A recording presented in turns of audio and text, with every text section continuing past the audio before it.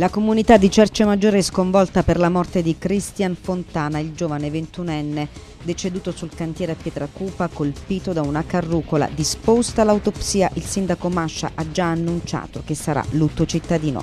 Tutti negativi al Covid, docenti e operatori ATA che finora si sono sottoposti a test e tamponi. C'è un solo positivo a Campobasso riferito al cluster noto, negativi tamponi a Fornelli e Montaquila. Via libera dalla conferenza unificata le linee guida per la gestione di casi o focolai Covid a scuola. Entro lunedì le regioni attendono risposte dal governo sul trasporto e sulla data di riapertura. Alcuni presidenti chiedono di posticiparla alle elezioni. Dal 2 al 5 settembre e chiusura in grande stile il 10 ottobre sulla terrazza del Palazzo Gil di Campobasso andrà in scena la musica di qualità seconda edizione di Sonic, anteprima del Festival Poietica, è dedicata al sud. A San Giovanni in Galdo gli ospiti del progetto Regalati il Molise avviano una raccolta fondi per restaurare l'organo del Settecento della Chiesa del Carmine. L'articolo di Selvaggia Lucarelli invece sortisce anche qualche effetto contrario, arriva la netta posizione del giornalista Pasquale Damiani. È terminato il ritiro dei lupi, tre giorni di stop, poi si torna a Campobasso e si riparte lunedì. Agnonesi ad un passo dall'ufficializzare il nuovo tecnico.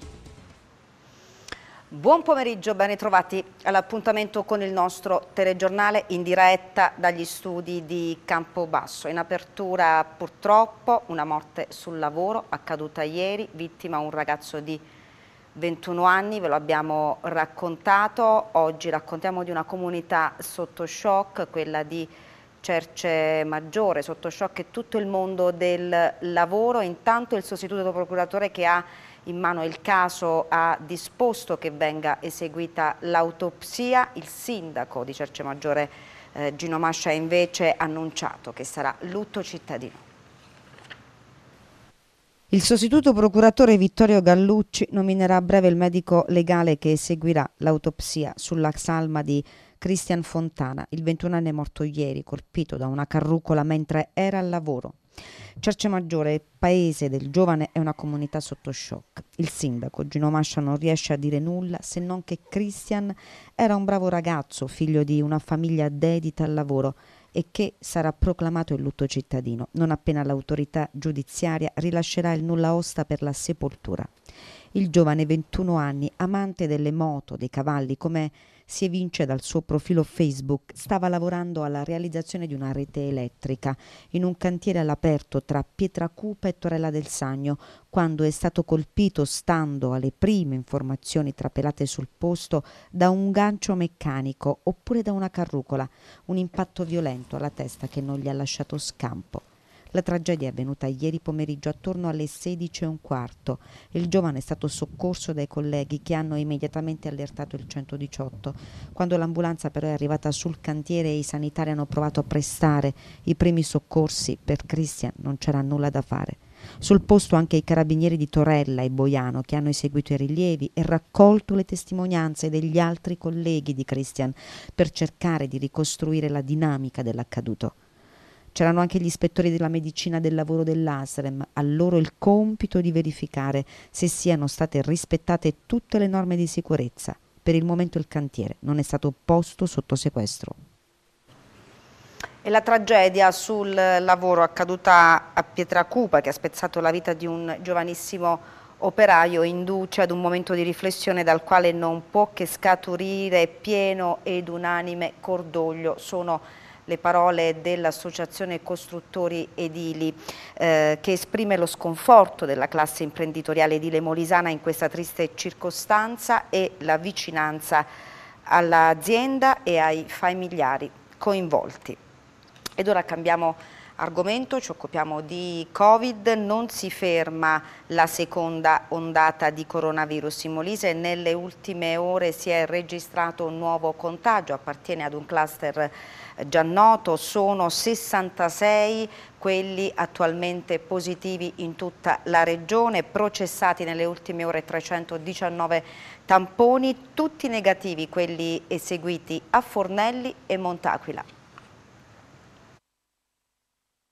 A livello nazionale i nuovi casi sono 1411 e non si registra nessuna regione a contagio zero. Prosegue quindi l'ondata di coronavirus dovuta soprattutto ai rientri dalle vacanze. In Molise si registra un nuovo caso. Nelle ultime 24 ore sono stati processati 319 tamponi ed è emersa la positività di una persona di Campobasso che fa riferimento a un cluster noto. La buona notizia è che sono risultati tutti negativi i primi test effettuati sui contatti delle persone risultate contagiate a Fornelli e Montalbano Mont'Aquila, ma lo screening sulle catene epidemiologiche dei molisani rientrati da fuori Italia e da fuori regione, che nei giorni scorsi hanno avuto un esito positivo al tampone, proseguono. I casi attuali in regione sono 66. Tra questi 63 persone sono asintomatiche isolate a domicilio. Tre persone risultano ricoverate nel reparto di malattie infettive del Cardarelli di Campobasso e il maggior numero di casi è proprio nel capoluogo 37, poi 6 a Termoli, 5 a Isernia, 5 a Campomarino, 4 a Sant'Elia a Pianisi, 2 a Campolieto, 2 anche a Forli del Sannio, un caso poi a Ferrazzano, uno a Filignano e ancora uno a Macchiagodena, uno a Montaquila e uno a Ripa Limosani. Aumentano anche le persone in quarantena, ora 133 in tutto il Molise. Tutti negativi al Covid, invece i 900 tra docenti e operatori del personale ATA che finora si sono sottoposti a test e tamponi. Lo ha eh, riferito il direttore generale dell'ASREM, Oreste Florenzano, che inoltre annuncia il via a nuove prenotazioni dal primo settembre. Intanto i consiglieri eh, regionali Calenda e Cefaratti chiedono sirologici anche nei centri socio-educativi.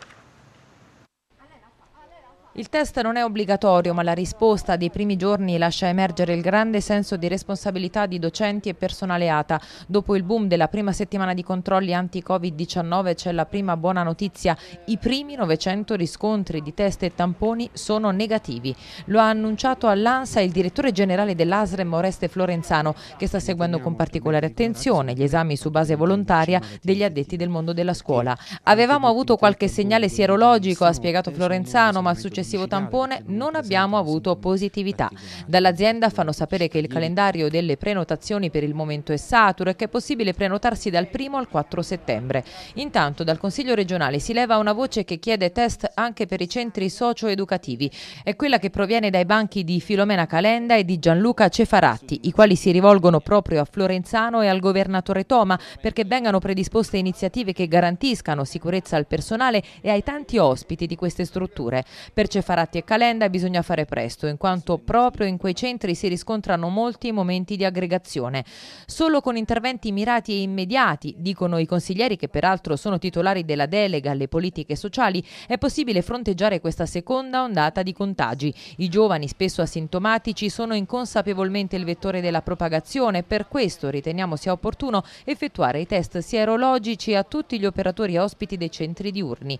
Tanti ragazzi, considerata la fragilità della loro condizione sociale hanno bisogno più di altri di piccole accortezze che se trascurate potrebbero amplificare la problematica e risultare dannosi con effetti devastanti anche sulle famiglie. Via libera dalla conferenza unificata le linee guida per la gestione di casi o focolai Covid a scuola. Entro lunedì le regioni attendono risposte dal governo sul trasporto. Convocata dal ministro Boccia, la conferenza unificata ha approvato all'unanimità il documento elaborato dall'Istituto Superiore di Sanità sulla gestione di casi di contagio nelle scuole. Alla seduta in videoconferenza hanno partecipato anche i ministri Speranza e Azzolina, il capo della Protezione Civile Borrelli, il presidente dell'Istituto Superiore di Sanità Brusaferro, quello della Conferenza delle Regioni Bonaccini, dell'Anci De Caro, dell'Upi De Pascale tra i governatori Bardi, Fontana e Donato Toma. Il governo ha accettato le raccomandazioni della conferenza delle regioni da me presieduta ieri, il governo ha accettato anche quella piccola condizione che avevamo posto nel, nel non indicare per gli alunni da 6, per i bambini da 0 a 6 anni, i piccoli gruppi, ma i gruppi liberamente eh, formati, liberamente costituiti dai direttori didattici. Questa è una cosa importante perché consente una certa flessibilità nel costituire i gruppi in quella fascia di età particolarmente delicata. Quindi siamo molto soddisfatti. Nel fine settimana settimana governo, regioni ed enti locali saranno al lavoro col Comitato Tecnico Scientifico per chiudere le linee guida condivise sulla sicurezza sanitaria nel trasporto. Entro lunedì per la precisione, lunedì mattina, ehm, faremo una conferenza, delle, eh, conferenza Stato-Regioni per definire l'intesa sulle linee guida che ci proporrà il Comitato Tecnico Scientifico attraverso il MIT, il, il Ministero delle Infrastrutture e Trasporti. Già vi anticipo che domani avremo una conferenza delle regioni per discutere del documento che il eh, Comitato Tecnico Scientifico sul trasporto, con un occhio particolare alla scuola, avrà eh, emesso in queste ore. E aumenta però il pressing per rinviare l'apertura dopo le elezioni del 20 e 21 settembre, una posizione sostenuta col suo consueto piglio per primo da De Luca, ma che ora sembra abbastanza condivisa. Se le cose rimangono così, le incertezze non sono tutte spazzate via, per cui qualche governatore, i governatori che chiedono questo lo chiedono a ragione, può darsi che mi aggiunga anche io, se le cose rimangono così come, come eh, sono ad oggi, ma se le cose evolvono così come io spero nei prossimi due giorni, nelle prossime 48 ore, verso una definizione eh, delle, delle, modalità per, ehm, per il trasporto degli studenti, penso che si possa rispettare in questo caso la data del 14. E in vista della riapertura dell'anno scolastico, al fine di organizzare il trasporto degli alunni, il sindaco di Montaquila, Marciano Ricci, invita i genitori interessati a iscrivere i propri figli al servizio entro il 4 settembre prossimo mediante compilazione di un apposito modulo pubblicato sul sito internet e a disposizione presso gli uffici comunali. Si fa presente, si legge nell'avviso, che le iscrizioni tardive saranno gestite con riserva e fino ad esaurimento dei posti disponibili sugli scuolabus. Al momento il costo del servizio rimane invariato, ma potrebbe essere oggetto di revisione sulla base delle spese sostenute dall'amministrazione anche in seguito all'attuazione delle linee guida e delle norme sanitarie che saranno adottate in materia. Il sindaco Ricci confida ovviamente nella collaborazione collaborazione di tutti.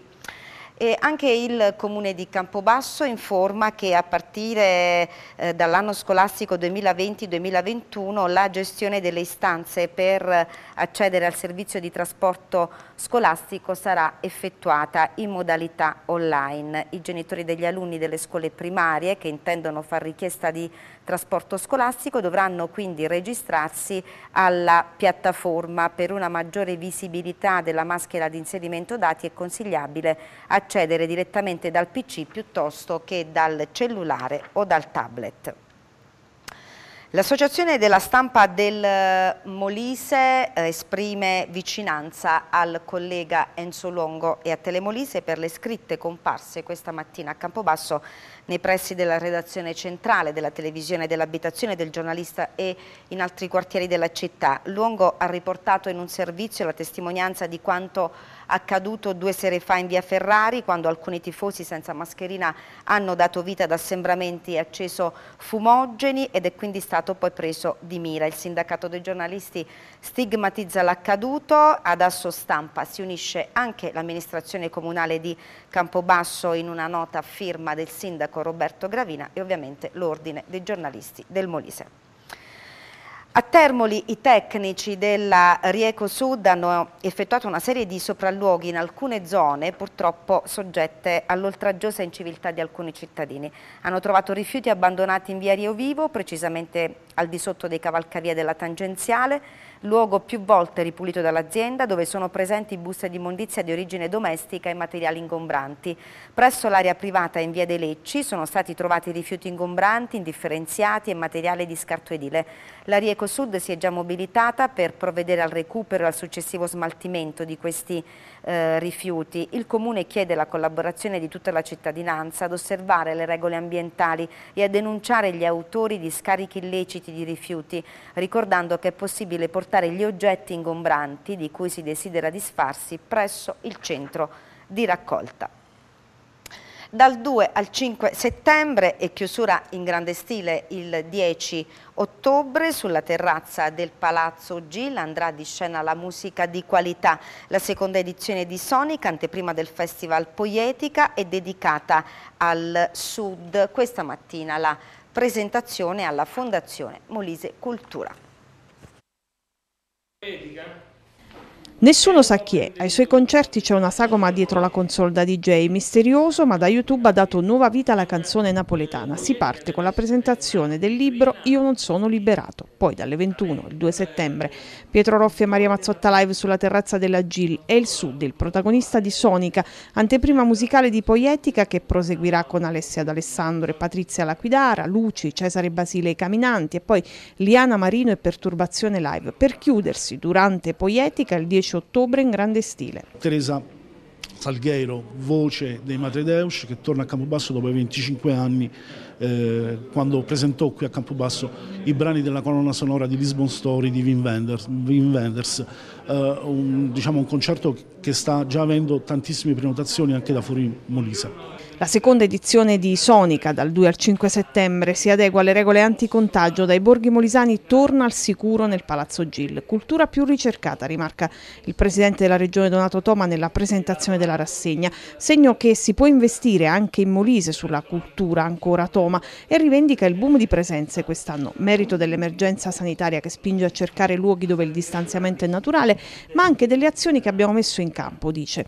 Insieme a una mostra, la parentesi sulla transumanza la rassegna Noir Kiss Me Deadly, Sonica rappresenta il ritorno degli eventi in presenza dopo la cultura virtuale durante il lockdown. Il tema è importante, il Sud, un tema fondamentale, eh, il Sud del mondo in generale, perché esiste anche un Sud del Nord, quel Sud che ha prodotto tantissimo nel corso della storia e che deve ritornare anche al centro della riflessione. La musica è una delle tante forme di espressione, di grande espressione di questo Sud e noi abbiamo cercato di intercettare in questo momento alcune delle figure più rappresentative.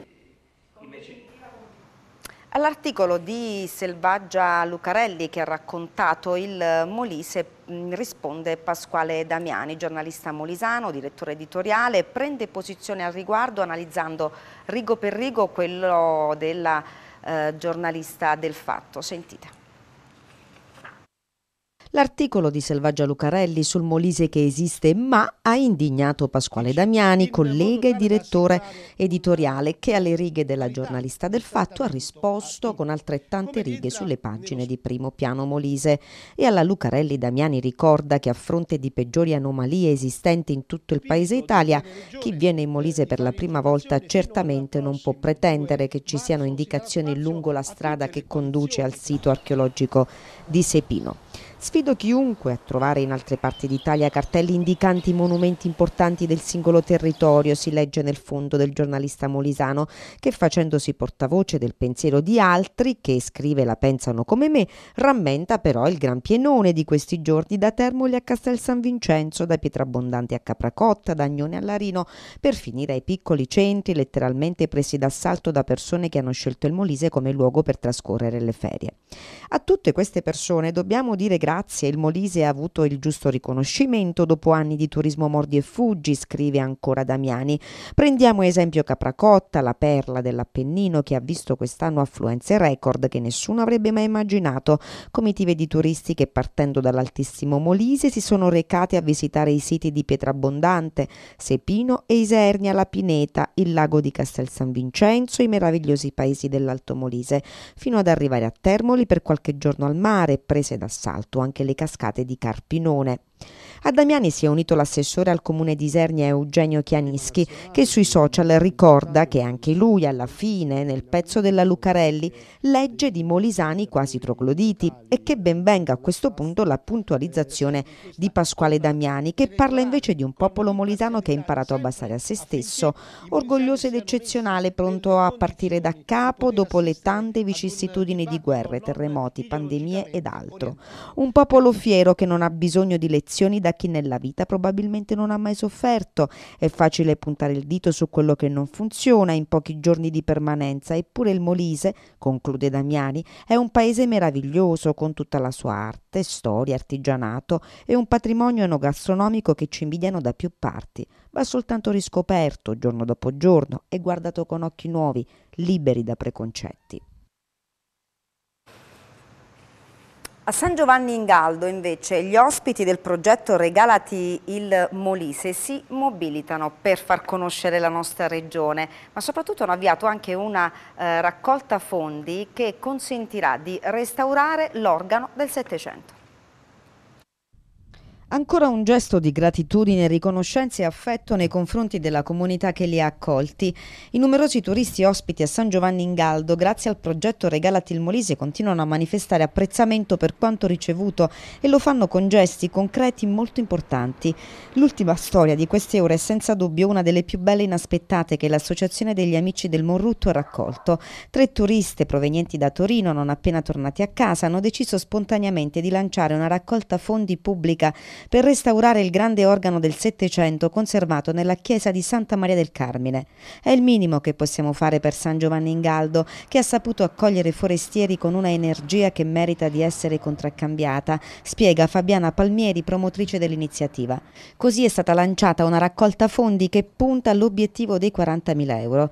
Quando in paese ci hanno aperto le porte della chiesa, racconta ancora Fabiana, il signor Rocco ci ha raccontato della dedizione con cui si dedica al mantenimento di quel posto. Ci ha mostrato il bellissimo organo del Settecento, spiegandoci che non è funzionante e che sarebbe una gioia sentirlo un giorno risuonare. La comunità di San Giovanni in Galdo ha saputo accogliere e donare gratuitamente a più di 200 turisti un'esperienza unica e questo è il nostro modo di ricambiare, tentare di raccogliere i fondi necessari per restaurare il grande organo del paese. Lo strumento aspetta una nuova vita e noi contiamo, grazie all'aiuto di molti, di restituire restituirlo alla comunità San Giovannara. Viaggio in kayak attorno all'Italia per far conoscere il volontariato, l'iniziativa di Andrea e Stefania e della loro grande voglia di ripartire distribuendo sorrisi, oggi ha fatto tappa a Termoli. È approdato a Termoli questa mattina il progetto che si chiama Riscossa e che viaggia in kayaks. Nasce dall'idea di due ragazzi, Andrea, 35 anni, professore di matematica e scienze alle scuole medie del centro salesiano di Treviglio, e Stefania, 28 anni, che ha vissuto all'estero per tanto tempo ed ora insegna inglese ai bambini. Cosa hanno in comune questi ragazzi? Entrambi amano viaggiare e dedicare il loro tempo agli altri. Sono clown di corsia, hanno già fatto diverse esperienze esperienze di volontariato internazionale per portare un sorriso e un po' di leggerezza. Sono operatori di circo e teatro sociale, il loro sogno è attraverso il metodo ludico e educativo formare i giovani nelle scuole per avvicinarli al volontariato e anche dare una prospettiva positiva a chi invece vive una situazione di disagio, con l'obiettivo di recuperare autonomia e autostima. Di una cosa sono certi, non possiamo cambiare il mondo, hanno detto, ma possiamo cambiare il momento e a volte tutto ciò di cui l'altro ha bisogno dalla voglia di ripartire, dal sentimento di una forte unione con l'Italia intera che ha affrontato la stessa battaglia, prende vita il progetto Riscossa, che ha permesso a questi due giovani di circumnavigare la penisola italiana. Sono partiti da Ventimiglia il 27 giugno scorso, oggi hanno fatto tappa a Termoli. Attraccheranno poi ipoteticamente a Trieste il 30 agosto, dopo aver toccato diverse città lungo tutta la costa italiana. Obiettivo? Far conoscere la realtà del volontariato che a noi personalmente ha donato tanto, su tutto nuovi occhi per affrontare in modo positivo la vita quotidiana con le sue gioie ma anche con le sue difficoltà. Vorremmo trasmettere questo per dare un'opportunità di riscossa, hanno detto i due giovani. L'incontro è il senso stesso del viaggio hanno donato nasi rossi per regalare un sorriso in segno di speranza e di voglia di ricominciare, uniti nell'aiuto reciproco. Grande successo al Parco De Filippo per la storia di Ion Kazaku, portata in scena da Indra al Campobasso Summer Festival. È stato uno spettacolo sviluppato sul filo della tradizione ma all'insegna della sperimentazione musicale e della ricerca scenica, quello che il collettivo Indra Art Project ha portato sul palco del Parco De Filippo giovedì sera con Requiem per il sogno americano per il secondo degli appuntamenti in programma nel cartellone del Campo Basso Summer Festival con una narrazione strutturata attraverso una messa in scena ricca di contaminazioni e rimandi tra danza, musica, teatro e letteratura, il collettivo ha raccontato al pubblico del Campobasso Summer Festival la storia reale di Kazaku, un operaio rumeno bruciato vivo dal suo datore di lavoro italiano a Gallarate nel 2000 perché reo di voler essere regolarizzato.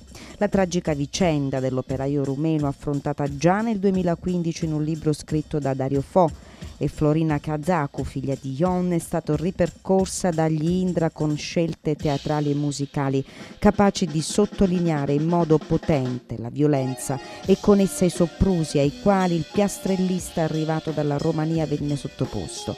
Un esperimento creativo, quello del collettivo Indra, che ha voluto rappresentare un requiem per il sogno americano dei tanti emigranti che raggiungono il nostro paese. Durante lo spettacolo è stato proiettato in anteprima il video musicale del brano Taranta Stomp girato dal collettivo nel centro storico di Campobasso, con lo scopo di presentare un progetto che oltre che artistico possa essere poi anche indirizzato ad aumentare l'attrattività e le bellezze della città. Bene, diamo uno sguardo alle previsioni del tempo.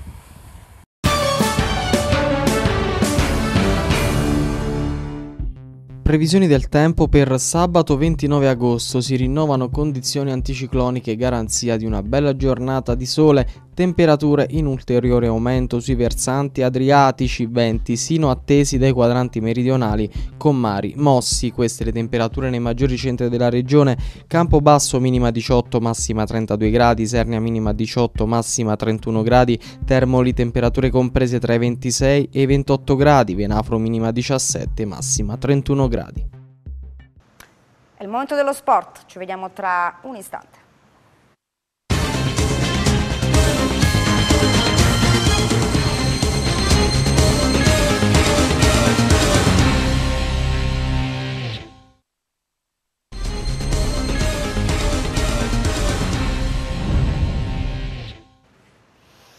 Terminato il ritiro del Campobasso, tre giorni di stop, poi si torna in città in queste ore e si ricomincia lunedì. È terminato il ritiro precampionato. Gli 11 giorni dei rossoblù a Palena sono Finiti il lavoro pesante è stato fatto, la benzina messa nel sorbatoio. Ora tre giorni di riposo concessi dallo staff tecnico a tutta la squadra che è sul campo dagli inizi di agosto e continuerà ad accumulare ancora minuti e condizione fisica nelle gambe a Campobasso perché da lunedì 31 agosto si riparte. La Rosa ha bisogno di rinforzi e questo lo sanno bene, ci stanno operando il direttore sportivo De Angelis e il responsabile dell'area tecnica Mandragola. Attaccante in primis, la punta centrale serve come il pane, anche se lo scorso anno mister Podini ha giocato con il falso 9, cioè Pietro Cogliati. Fondamentale come un bicchiere d'acqua nel deserto oppure l'ingaggio di un esterno offensivo under, possibilmente 2002, in stile Zammarchi per intenderci. In questa maniera si potranno scegliere due modi di giocare, pivo di riferimento e strutturato oppure attacco più leggero, due opzioni molto importanti di cui usufruire nel corso della stagione. Dunque reparto avanzato sotto i riflettori, ma non solo. Serve almeno un altro fuoriquota a centrocampo e un altro portiere. L'organico reparto per reparto, sicuramente al completo la difesa. D'altronde tutti i titolari della scorsa stagione sono stati confermati. Parliamo dei centrali Menna, Dalmazzi e Sbardella ai quali bisogna aggiungere il giovane molisano Pistillo, del terzino sinistro Vanzan che sarà under per un altro anno, dello stesso esterno destro Cristian Fabriani che deve solo essere ufficializzato e si giocherà un posto con Antonio Martino già in prima squadra dalla seconda metà del torneo passato. Sta per firmare anche Angelo Capozzo, altro fuori quota che darà il cambio a Vanzan quasi chiuso il centrocampo. Brenci, Bontà e Candellori godono della fiducia totale da parte dello staff. Il quarto è Tenkorang, under considerato alla stregua di un calciatore over. Manca un altro ragazzo 2001. Poi c'è il capitolo attacco dove vanno piazzati due elementi chiave. Per ora le fasce sono coperte con Cogliati Esposito e Di Domenica Antonio. Giungeranno una punta centrale un esterno e infine in porta attualmente figura il solo Matteo Raccichini, classe 2000 e si è in trattativa con il portiere del Cagliari Primavera Davide Piga. L'Olimpia Agnonese ad un passo dall'ufficializzare il nuovo tecnico che siederà sulla panchina granata. L'Olimpia Agnonese ad un passo dall'ufficializzare il nuovo tecnico che siederà sulla panchina dei Granata. Al riguardo sarà decisiva la settimana prossima.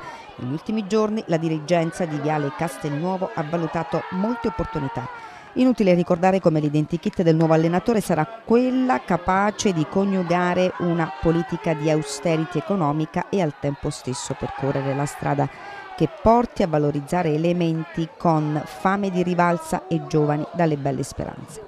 In quest'ottica ascoltati diversi tecnici del panorama di Serie D. A tirare le somme in pole position ci sarebbero Raffaele Esposito, classe 79, ex guida di Casertana e Pomigliano d'Arco e Andrea Liguori, volto noto del girone F, visto che ha allenato l'Avezzano Calcio. Con moltissime probabilità uno dei due sarà il prossimo allenatore dei Grifoni alla quattordicesima stagione consecutiva in quarta serie. Il laterale Andrea Cioccia ha firmato con la Chaminade Campobasso, classe 95, aveva già militato in rossoblu, cresciuto nel settore giovanile del Mirabello Calcio, a 17 anni si è avvicinato al mondo del futsal entrando a far parte della Chaminade Under 18, tre stagioni intense, poi la scelta di cambiare maglia sposare il progetto del CUS Molise. Oggi torna con grandi motivazioni, sono rimasto entusiasta del progetto, ha detto Cioccia, eh, che mi è stato presentato. Una squadra composta da tutti i ragazzi del posto che a mio avviso sarà valida e potrà dire la sua. Questo è tutto, termina dunque l'edizione del nostro telegiornale che torna in diretta alle 19.30, grazie per averci seguito, arrivederci.